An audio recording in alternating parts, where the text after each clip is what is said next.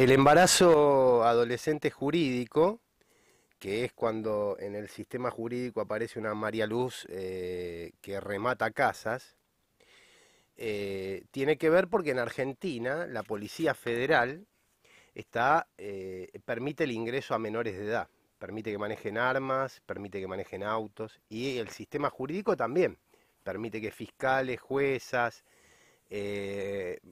gente que remata hogares y demás, lo hagan desde la minoría de edad, sin haber estudiado leyes. Eh, ¿No? Poco creíble. Bueno, todo el sistema del aparataje adulto, de corruptos adultos que son punibles porque son adultos y que se encubren detrás de menores, es también una defraudación y un hecho de corrupción, mi querida.